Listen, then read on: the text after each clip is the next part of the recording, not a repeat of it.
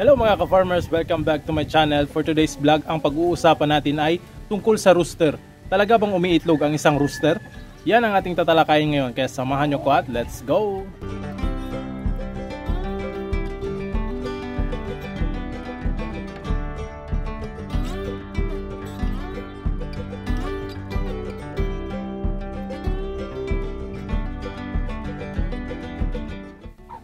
Ito yung asil ng mga inahin natin mga ka-farmers. Magkapatid ito. Yung isa ay nakapisa ng tatlong sisiw at yung isa ay wala naman.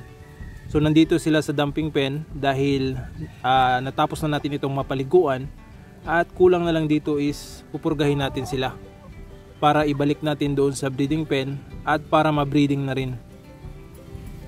So yan mga ka-farmers, uh, unti-unti nang nawala yung pagka-broody nitong isang inahin pagkatapos niyang makapisa dahil hiniwalay natin yung kanyang sisiw dito.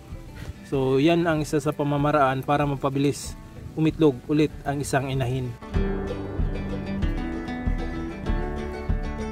Ito naman yung black australorp na rooster natin. Pinalabas natin ito doon sa kanyang breeding pen o doon sa mga babae na walo rin na inahin na black australorp. So pinalabas ko ito dahil yung mga inahin ay naglulugon. Hindi magandang lagyan ng rooster dahil matatanggal lang lahat yung kanilang mga balahibo at napakasakit kapag sasampa ang isang rooster. So ito ay matagal na itong nandito sa dumping pen, siguro mga dalawang linggo na. At pwede na natin itong gamitin ulit sa pagbibreeding. So ilalagay natin ito mamaya doon sa isang set ng mga black costalorp which is yung mga anak nitong mga babae. So ito, ah, mapapansin nyo, napakataas yung kanyang tahid. So hindi pa naglulugon itong manok na ito, yung rooster. Kaya pwede pa natin itong gamitin sa breeding. At mahaba na rin ito nakapagpahinga. Kaya pwede na nating isa lang ito. Isa rin sa mga plano ko sana mga ka-farmers, itong Black Australorp na rooster ay kukross natin dyan sa mga asil na inahin.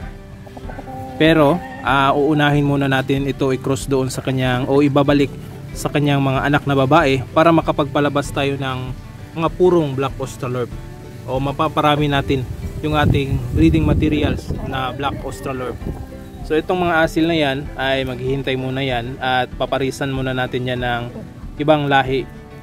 So ito, doon muna natin ilalagay sa mga Black Australorp na inahin.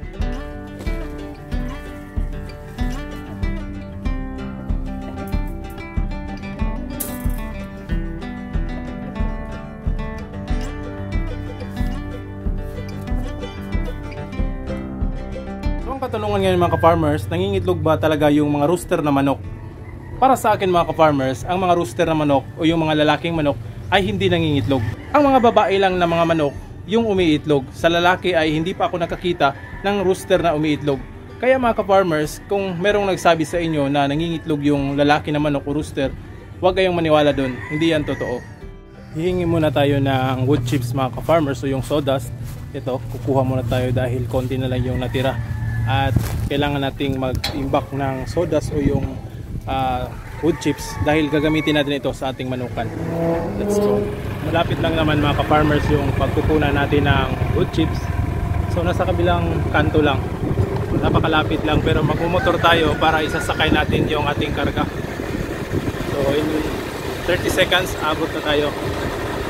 Farmers nakauwi na tayo at napakabilis lang kumuha nitong uh, sodas wood chips dahil marami na available. At hiningi lang natin ito. Kumuha tayo dahil yung beddings ng ating mga manok na nandito sa babuyan ay medyo kulang na. So lalagyan natin ng sodas at saka maglalagay din tayo ng rooster. Kaya magdagdag tayo ng sodas doon sa breeding pen So yan mga farmers dinagdagan na natin ng wood chips yung kanilang beddings.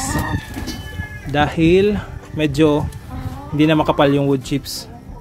So yan, nagdagdag tayo ng wood chips at dito natin ilalagay yung ating black australorp na rooster.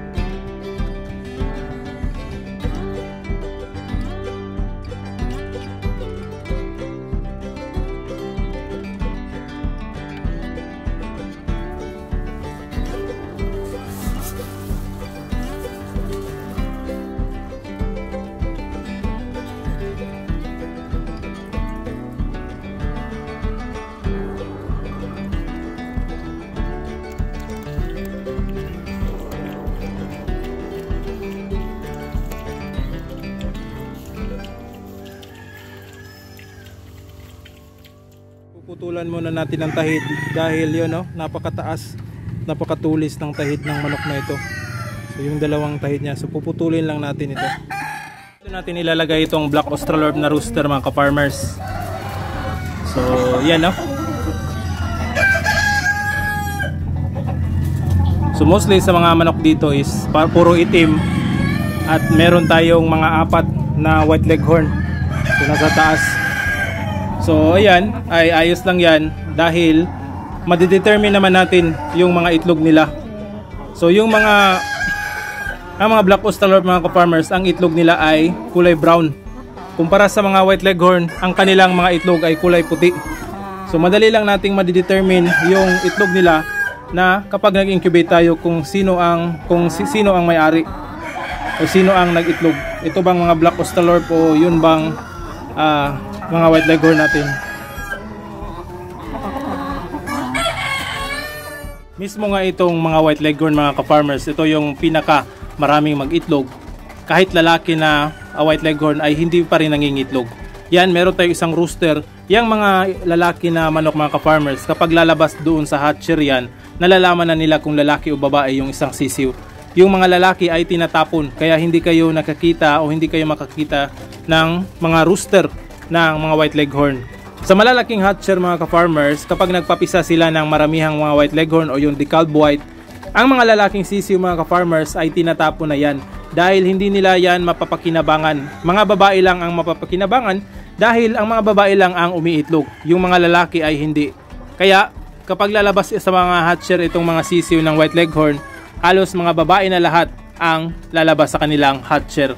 Itong mga lalaking rooster, mapapansin nyo yan, kalimitan yan binibenta sa paaralan yung ah, pabunot o yung mga sisiw na kinukulayan dahil maliliit ang mga katawan nitong mga white leghorn at hindi ito pwedeng pang meat type na manok dahil ang liit nga yung kanilang pangangatawan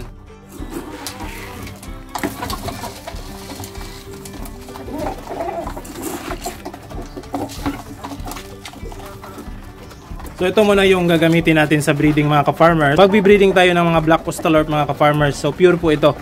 Etong rooster, ang mga babae na itim ay anak niya. Kaya binalik natin dyan para makapagpalabas tayo ng pareha ng color o pareha ng breed ng kanyang ama. So yan.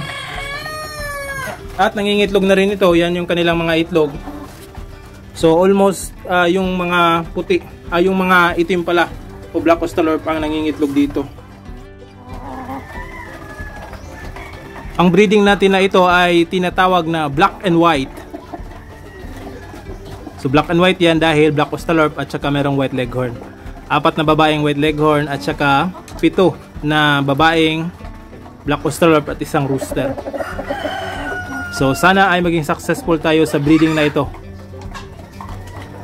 Alright.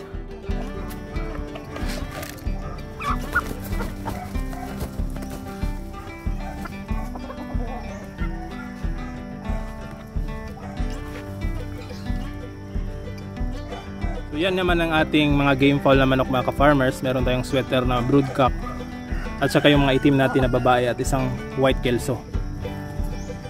So hopefully ay makapag-produce tayo ng magandang lahi ng manok panabong.